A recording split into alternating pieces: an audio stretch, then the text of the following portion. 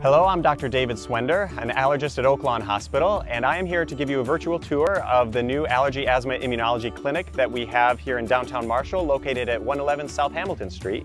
So if you'd like to, come with me and I'll show you around inside.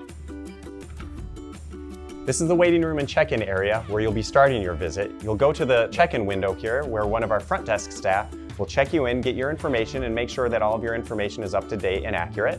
Uh, you'll wait briefly and then we'll bring you back into the clinical area when it's time for your visit. One of our clinical staff will bring you into an exam room where they'll take your vital signs, review your medications, and obtain a brief history. Then you'll meet with me and we'll talk about what brings you to our clinic. We see patients of all ages for a variety of different allergy problems, including nasal and eye allergies, skin allergic conditions, asthma, food allergies, as well as other immunologic disorders. There's a lot of work that happens in our clinic behind the scenes, and one of the places that that happens is in our lab. Let's go check it out.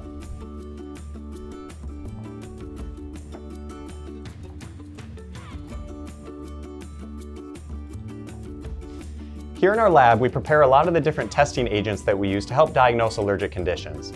Another thing that we do in the lab is prepare allergy shots that we use to treat allergic asthma and seasonal allergies. Thanks for taking a tour with me today. If you'd like to be seen in our clinic, please feel free to give our office a call and we'd be happy to see you. You can also check out our website for more information.